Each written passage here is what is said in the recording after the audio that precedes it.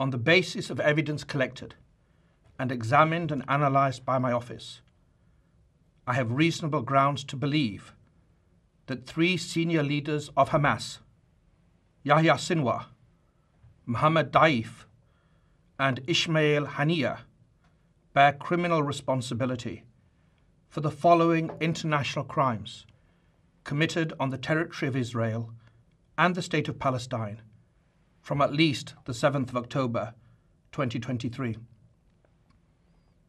Extermination as a crime against humanity. Murder as a crime against humanity and as a war crime. The taking of hostages as a war crime.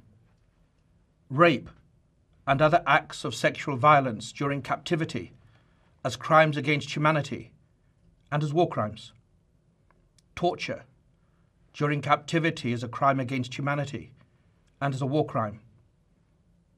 Other inhumane acts during captivity as a crime against humanity.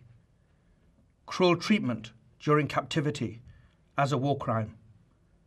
And outrages upon personal dignity during captivity as a war crime.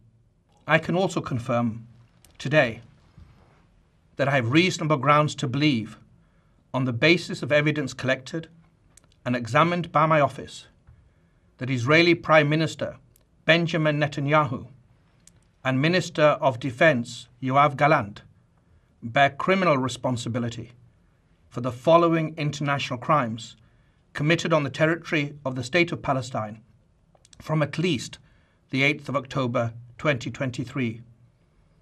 The crimes include starvation of civilians as a method of warfare, willfully causing great suffering, serious injury to body or health or cruel treatment, willful killing or murder, and intentionally directing attacks against a civilian population, as well as crimes against humanity of extermination and or murder, persecution, and allegations of crimes of committing other inhumane acts.